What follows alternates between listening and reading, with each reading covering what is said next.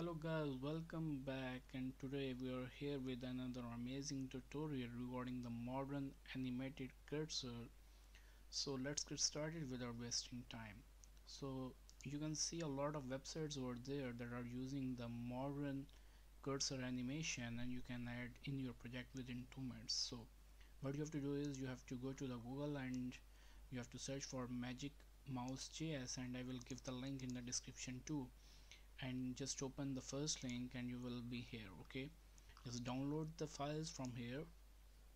And once you will done you will see something like this okay? Some something like this folder and there is a dist folder in it and you have to include these two files in your project as per the description of the github you can see we have to include these two one and then we have to call the this script and it's all done.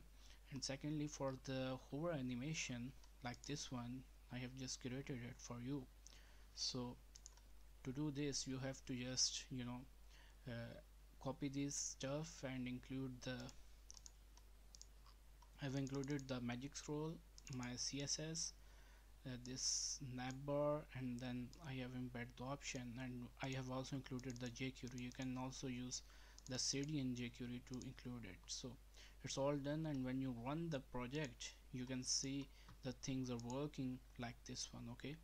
So in the next tutorial we will see how we can uh, customize this animated javascript library. So let's get started in the next tutorial. And for now in two minutes we have just included and we have all done for this animation. So thank you so much for your time. Bye bye